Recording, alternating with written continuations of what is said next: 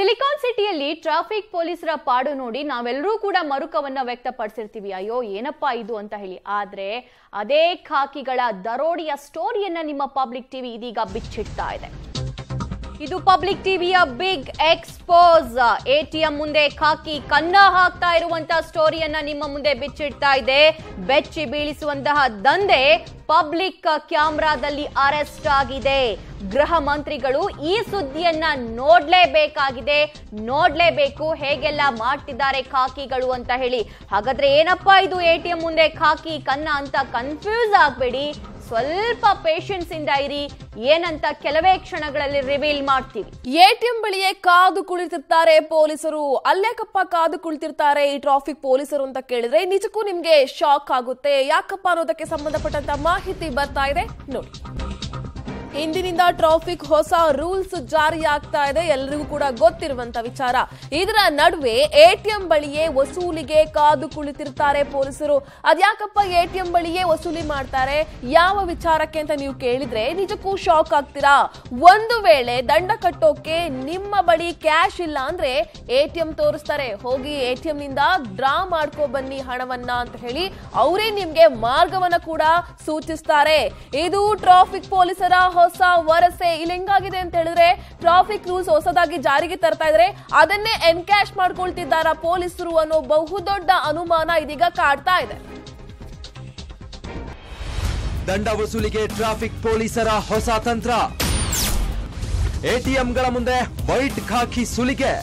ಹೌದು traffic control ಮಾಡೋ ಪೊಲೀಸರು ಪೀಕ್ ಟೈಮ್ ಮುಗಿದ್ಮೇಲೆ ವಾಹನ ತಪಾಸಣೆ ಮಾಡೋ ಕಡೆ ಗಮನ ಹರಿಸ್ತಾರೆ. ಆದ್ರೆ ಹೊಸ ಫೈನ್ ಜಾರಿಗೆ ಬಂದ್ಮೇಲೆ ಟ್ರಾಫಿಕ್ ಪೊಲೀಸರು ದಂಡ ವಸೂಲಿಗೆ ಹೊಸ ಐಡಿಯಾ ಹುಡುಕೊಂಡಿದ್ದಾರೆ ಎಲ್ಲೆಲ್ಲಿ ಎಟಿಎಂಗಳಿರುತ್ತೋ ಅಲ್ಲೇ ತಪಾಸಣೆ ಮಾಡ್ತಿದ್ದಾರೆ. ಇದಕ್ಕೆ ಕಾರಣ ವಾಹನ ಸವಾರರು ದುಡ್ಡಿಲ್ಲ ಅಂದ್ರೆ ಎಟಿಎಂ ಇಲ್ಲೇ ಇದೆ, ಡ್ರಾ ಮಾಡ್ಕೊಡಿ ಅಂತ ಹೇಳಿ ಹಣ ವಸೂಲಿ ಮಾಡಬಹುದು ಅನ್ನೋದು ಪೊಲೀಸರ ಪ್ಲಾನ್ ಪಬ್ಲಿಕ್ ಟಿವಿಯ ರಿಯಾಲಿಟಿ ಚೆಕ್ನಲ್ಲಿ ಇದು ಬಯಲಾಗಿದೆ. ದೃಶ್ಯ ಒಂದು, ಕಲಾಸಿಪಾಳ್ಯ ಮಾರುಕಟ್ಟೆ ಬಸ್ ನಿಲ್ದಾಣ. ದಿನಾಂಕ ಆಗಸ್ಟ್ ಹದಿನೆಂಟು, ಸಮಯ ಬೆಳಗ್ಗೆ ಹನ್ನೊಂದು ಮೂವತ್ತು. ಇಲ್ಲಿ ದಿನದ ಇಪ್ಪತ್ನಾಲ್ಕು ಗಂಟೆಯೂ ಜಾಮ್ ಇದ್ದೇ ಇರುತ್ತೆ. ಇಲ್ಲಿ ಟ್ರಾಫಿಕ್ ಕಂಟ್ರೋಲ್ ಮಾಡೋದನ್ನ ಬಿಟ್ಟು ಐಸಿಐಸಿಐ ಎಟಿಎಂ ಸೆಂಟರ್ ಮುಂದೆ ಹೇಗೆ ತಪಾಸಣೆ ಮಾಡ್ತಿದ್ದಾರೆ ನೋಡಿ.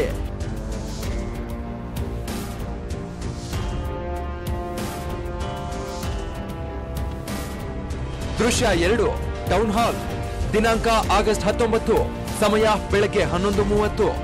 ಇದು ಕೂಡ ಟ್ರಾಫಿಕ್ ಸೆಂಟರ್ ಇಲ್ಲಿ ಆಂಧ್ರ ಬ್ಯಾಂಕ್ ಎಟಿಎಂ ಇದೆ. ಇಲ್ಲೇ ಪೊಲೀಸರು ವಾಹನಗಳನ್ನ ಅಡ್ಡಗಟ್ಟಿ ಡಿಎಲ್ ಇನ್ಶೂರೆನ್ಸ್ ಅದು, ಇದು ಅಂತ ಚೆಕ್ ಮಾಡ್ತಾರೆ.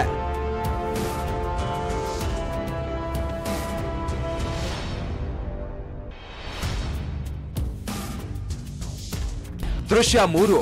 ಚಾಮರಾಜಪೇಟೆ ಮಕ್ಕಳ ಕೂಟ. ದಿನಾಂಕ ಆಗಸ್ಟ್ ಹತ್ತೊಂಬತ್ತು. ಸಮಯ ಬೆಳಗ್ಗೆ ಹತ್ತು ಮೂವತ್ತು. ಈ ಜಂಕ್ಷನ್ನಲ್ಲಿ ಎಸ್ಬಿಐ ಎಟಿಎಂ ಇದೆ.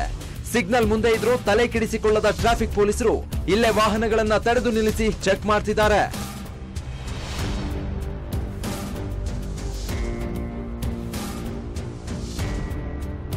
ದೃಶ್ಯ ನಾಲ್ಕು. Manyata tech park. ದಿನಾಂಕ ಆಗಸ್ಟ್ ಹತ್ತೊಂಬತ್ತು. ಸಮಯ ಮಧ್ಯಾಹ್ನ ಒಂದು ಗಂಟೆ. ಇದು ಹೆವಿ ಟ್ರಾಫಿಕ್ ಏರಿಯಾ. ಜೊತೆಗೆ ಫ್ಲೈಓವರ್ ಕಾಮಗಾರಿ ಬೇರೆ ನಡೀತಿದೆ. ಯಾವಾಗ್ಲೇ ಹೋಗ್ಲಿ ಟ್ರಾಫಿಕ್ ಇದ್ದೇ ಇರುತ್ತೆ. ರಸ್ತೆ ಬೇರೆ ಕಿರಿದಾಗಿದ್ದು ಇಲ್ಲೇ ಎಸ್ಬಿಐ ಎಟಿಎಂ ಇದೆ. ಇದೇ ಜಾಗದಲ್ಲಿ ವಾಹನಗಳನ್ನ ತಡೆದು ತಪಾಸಣೆ ಮಾಡ್ತಿದ್ದಾರೆ. ಇದರಿಂದ ಟ್ರಾಫಿಕ್ ಸಮಸ್ಯೆ ಕೂಡ ಜಾಸ್ತಿ ಆಗ್ತಿದ್ದು. ವಾಹನ ಸವಾರರು ಪರದಾಟ ಪಡ್ತಿದ್ದಾರೆ. ಇದು ನೋಡಿ, ಇದು ಚಿಕ್ಕ ದಾರಿ ಇದೆ. ಒಂದು ಗಾಡಿ ಒಂದು ಗಾಡಿ ಹಿಡಿದ್ರೆ ಇನ್ನೊಂದು ಗಾಡಿ ಹೋಗೋಕ್ಕಾಗಲ್ಲ.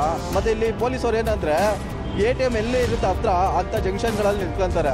ಈಗ ನಮಗೆ ಡಿ ಎಲ್ ಇಲ್ಲ ಇನ್ಶೂರೆನ್ಸ್ ಇಲ್ಲ ಅಂದ್ರೆ ಸಾವಿರ ರೂಪಾಯಿ ದಂಡ ಹಾಕ್ತಾರೆ. ಅದೇ ರೋಡ್ ಸರಿ ಇಲ್ಲ ಅಂದ್ರೆ ಯಾರು ಕೇಳೋರು, ಕೇಳೋರಿಲ್ಲ. ಈಗ ಇನ್ಶೂರೆನ್ಸ್ ಇಲ್ಲ ಅಂದ್ರೆ, ಅವ್ರ ಇನ್ಶೂರೆನ್ಸ್ ಇಲ್ಲ ಅಂದ್ರೆ ದುಡ್ಡಿಲ್ಲ ಅಂದ್ರೆ ಎ ಟಿ ಎಂ ಹತ್ರ ಇರುತ್ತೆ. ಎ ಟಿ ಎಂ ಅಲ್ಲಿ ಹೋಗಿ ತಂದು ಕೊಟ್ಟರೆ ಅವ್ರು ನೆಕ್ಸ್ಟ್ ಏನು ಇದು ಮಾಡಬೇಕು?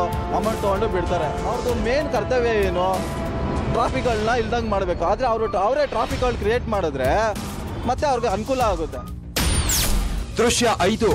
ವಿಜಯನಗರ ಬಸ್ ನಿಲ್ದಾಣ. ದಿನಾಂಕ ಆಗಸ್ಟ್ ಇಪ್ಪತ್ತೊಂಬತ್ತು. ಸಮಯ ಸಂಜೆ ಆರು ಗಂಟೆ.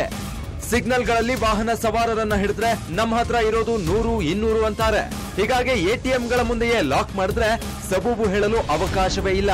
ಇಲ್ಲೇ ಎಟಿಎಂ ಇದೆ, ಡ್ರಾ ಮಾಡ್ಕೊಡಿ ಅಂತಾರೆ. ವಿಜಯನಗರ ಬಸ್ ನಿಲ್ದಾಣದ ಸುತ್ತಮುತ್ತ ಇರುವ ಕೆನರಾ ಬ್ಯಾಂಕ್ ಸೇರಿ ಮೂರ್ನಾಲ್ಕು ಎಟಿಎಂಗಳು ಇರೋ ಜಾಗದಲ್ಲೇ ದಂಡ ಕಟ್ಟಿಸುತ್ತಿರುವ ದೃಶ್ಯ ಪಬ್ಲಿಕ್ ಟಿವಿ ಕ್ಯಾಮೆರಾದಲ್ಲಿ ಸೆರೆಯಾಗಿದೆ. ಈಗ ಈ ಸಂಜರಿ ಪೊಲೀಸರು ಏನಾಗ್ಬಿಟ್ಟಿದೆ? ಟ್ರಾಫಿಕ್ ದಿನ ದಿನ ಆಗ್ತಾ ಇದೆ ಅವ್ರ ಕರ್ತವ್ಯ ಏನು? ಟ್ರಾಫಿಕ್ನ ಕಂಟ್ರೋಲ್ ಮಾಡಬೇಕು. ವ್ಯವಸ್ಥೆ ಮಾಡಿಕೊಡ್ಬೇಕು. ಆ ಕೆಲಸ ಅವ್ರು ಯಾವತ್ತೂ ಮಾಡಲ್ಲ. ನಾನು ಇದೇ ರೋಡಲ್ಲಿ ಎವ್ರಿ ಡೇ ಮಾರ್ನಿಂಗ್ ಈ ಕಡೆ ಹೋಗ್ತೀನಿ, ಈ ಕಡೆ ಬರ್ತೀನಿ. ನಾನು ಈ ಟ್ರಾಫಿಕ್ ಅವ್ರು ಏನು ಮಾಡ್ತಾರೆ? ಎಲ್ಲ ಪಾಯಿಂಟ್ಗಳಲ್ಲಿ ಪ್ರತಿಯೊಂದು ಗಾಡಿನೂ ಹಿಡಿತಾ ಇರ್ತಾರೆ. ದುಡ್ಡಿಲ್ವಾ? ಎ ಟಿ ಎಂ ಪಕ್ಕದಲ್ಲಿ ನಿಂತ್ಕೊಂಡಿದ್ದಾರೆ. ಎ ಟಿ ಎಂ ಪಕ್ಕದಲ್ಲೇ ಇದೆ. ತಗೋಬಂತಾರೆ ಎಲ್ಲ ಡಾಕ್ಯುಮೆಂಟ್ ಇದ್ರೂ ಅವ್ರ ಹತ್ರ ಮಿನಿಮಮ್ ಐವತ್ತರಿಂದ ನೂರು ರೂಪಾಯಿ ಹಂಡ್ರೆಡ್ ಪರ್ಸೆಂಟ್ ಕೇಳ್ತಾರೆ ಅವರು. ಎಲ್ಲೇ ನೋಡಿ ಸಿಗ್ನಲ್ ಅಲ್ಲಿ ಪಾಯಿಂಟ್ ಅಲ್ಲಿ ನೋ ಪಾರ್ಕಿಂಗ್ ಅಲ್ಲಿ ಅವ್ರು ಗಾಡಿ ಹಿಡಿಬಹುದು ಫೈನ್ ಹಾಕೋಬಹುದು ನಾವು ಸಾರ್ವಜನಿಕರು ನೋ ಪಾರ್ಕಿಂಗ್ ಗಾಡಿ ಹಾಕಂಗಿಲ್ಲ. ನೋ ಎಂಟ್ರಿ ಅವ್ರು ಹೋಗ್ಬೋದು ನಾವು ಹೋಗಂಗಿಲ್ಲ ದೃಶ್ಯ ಆರು, ರಾಜ್ಕುಮಾರ್ ರೋಡ್, ದಿನಾಂಕ ಆಗಸ್ಟ್ ಇಪ್ಪತ್ತೇಳು, ಸಮಯ ಸಂಜೆ ಐದು ಗಂಟೆ. ಇನ್ನು ರಾಜಾಜಿನಗರದ ರಾಜ್ಕುಮಾರ್ ರಸ್ತೆಯಲ್ಲೂ ಇದನ್ನೇ ಅನುಸರಿಸುತ್ತಿದ್ದಾರೆ ಈ ರಸ್ತೆ ಸದಾ ವಾಹನಗಳಿಂದ ಗಿಜಿಗುಡುತ್ತೆ. ಸಿಕ್ಕಾಪಟ್ಟೆ ಟ್ರಾಫಿಕ್ ಇದ್ರೂ ತಲೆ ಕೆಡಿಸ್ಕೊಳ್ಳದೆ ವಾಹನ ಸವಾರರಿಗೆ ಕಿರಿಕಿರಿ ಮಾಡ್ತಾ ದಂಡ ವಸೂಲಿಯಲ್ಲಿ ಬ್ಯುಸಿ ಆಗ್ಬಿಟ್ಟಿದ್ದಾರೆ. ಅದರಲ್ಲೂ ಟ್ರಾಫಿಕ್ ಫೈನ್ ದುಪ್ಪಟ್ಟಾದ ಮೇಲಂತೂ ಪೊಲೀಸರು ಫುಲ್ ಆಕ್ಟಿವ್ ಆಗ್ಬಿಟ್ಟಿದ್ದಾರೆ. ಟ್ರಾಫಿಕ್ ಪೊಲೀಸರ ನೂತನ ಕಾರ್ಯಾಚರಣೆ ಶೈಲಿಗೆ ವಾಹನ ಸವಾರರು ಅಪಸ್ವರ ಎತ್ತಿದ್ದಾರೆ. ಪೊಲೀಸರಿಗೆ ದಂಡ ಕಟ್ಟಿಸಿಕೊಳ್ಳುವಲ್ಲಿ ಇರೋ ಮುತುವರ್ಜಿ ಟ್ರಾಫಿಕ್ ಕಂಟ್ರೋಲ್ ಮಾಡೋದ್ರಲ್ಲಿ ತೋರಿದ್ರೆ ಬೆಂಗಳೂರಿನ ಟ್ರಾಫಿಕ್ ಸಮಸ್ಯೆ ಕಂಟ್ರೋಲ್ ಆಗ್ತಿತ್ತು ಅಂತ ಕಿಡಿಕಾರ್ತಿದ್ದಾರೆ.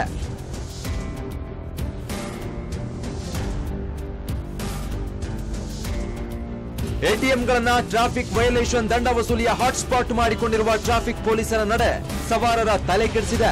ದುಡ್ಡಿಲ್ಲ ಅಂತ ಹೇಳಿ ತಪ್ಪಿಸಿಕೊಳ್ತಿದ್ದ ಸವಾರರು ಕಂಗೆಟ್ಟು ಹೋಗಿದ್ದಾರೆ. ನಾಗೇಶ್ ಜೊತೆ ಮಾರುತಿ, ಪಬ್ಲಿಕ್ ಟಿವಿ, ಬೆಂಗಳೂರು.